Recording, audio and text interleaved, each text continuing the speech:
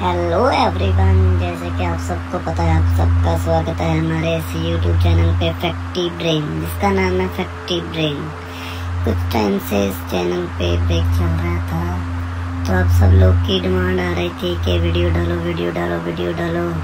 अब जो भी यहाँ पे वीडियो डालेंगे, वो सब आपके ही कंसेप्ट होंगे। प्लीज़ आप अपना कंसेप्ट बढ़ाओ हम आपको वीडियो बना के देंगे। Thank you